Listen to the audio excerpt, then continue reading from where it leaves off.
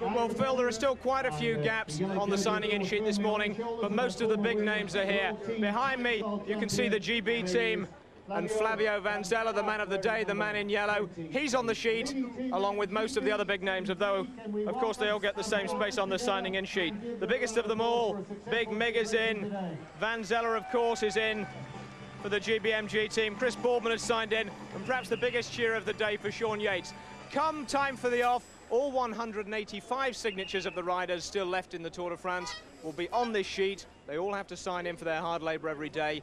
And this signing in sheet, something of a historic document because it'll be one of only three ever signing in sheets from an English stage in the 81 year history of the Tour de France. And it could be on your living room wall or on, in your sideboard or wherever you keep your valuables if you enter Channel 4's Tour de France competition. The number to call is 0891 444444. That's 0891 all the fours. And the question, same as it is every year, predict the winner of Sunday's stage.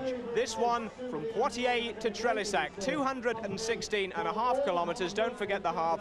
Predict the stage winner, and if you're the first correct answer out of our safety helmet, you'll not only win this, you'll also win a yellow jersey signed by the stage winner and whoever's in yellow that day. Best of luck. Now back to Phil.